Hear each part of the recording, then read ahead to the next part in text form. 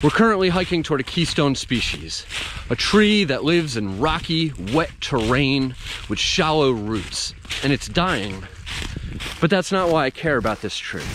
At least that's not originally why I cared about it. See, when I started making this video, I didn't realize that this tree regulates the temperature of the water, making it great for the fish and animals that live near it, that it holds nitrate and nutrients in the soil to make sure that it's filtering and allowing for pure water to flow downstream. But I didn't know any of that when I cared about this tree originally and wanted to make this video.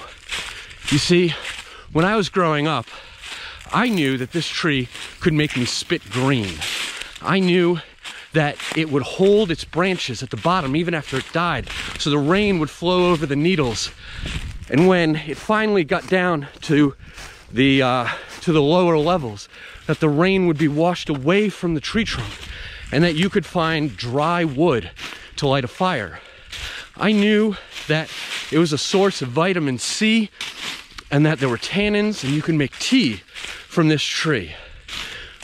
But I didn't realize how important it truly was. So we're hiking to this tree because it's becoming harder and harder to find out in the wilderness. We're hiking to it because I care about what happens to this tree and you should too. Today this tree is known as the redwood of the east.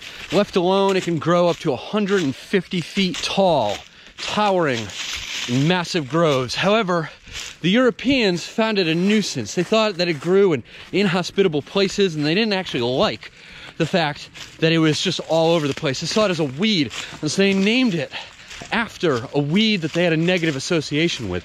They named it after the hemlock tree, which is a giant flowering weed that's extremely poisonous. And this is what they used to kill Socrates. And excuse me a moment, watching my step. And they actually used to refer to it as the hemlock, which then became known as the eastern hemlock. But you see, they didn't treat it very well, and they ripped down forests, just ripping off the bark to use for tanning. And they basically took down huge forests of it. And so the eastern hemlock got known to have a bad reputation. It wasn't until later we realized how important it was. And that's when the woolly adelgids came.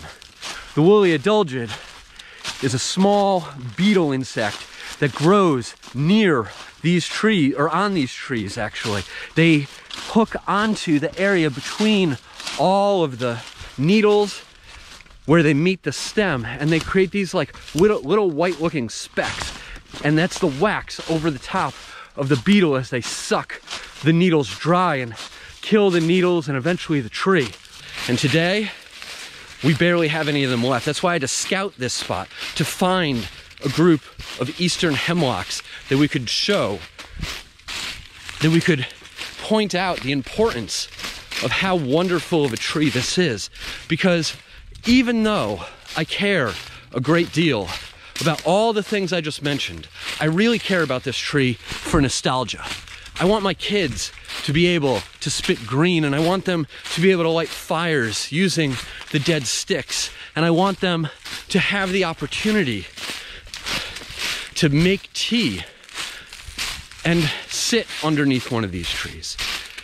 So, if you find an eastern hemlock, or if you're lucky enough to find a grove of them in the woods, or if you're gonna write in the comments how they're everywhere where you are, I tell you, take a moment, appreciate these.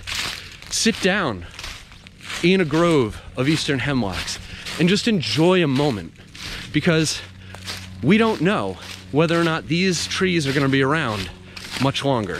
And if you're wondering how to identify them, because I think that's sort of an important thing. If you look for a pine tree that just has one needle coming out of either side of its tiny little branches, and then on either side of the stem of that needle, there is a white line, then you will have found what you're looking for.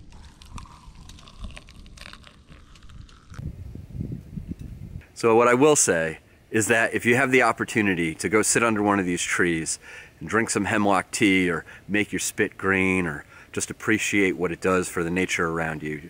Take advantage of it. Get outside, generate the wild within, I'm Scott Peasley, and this is Wild Generation.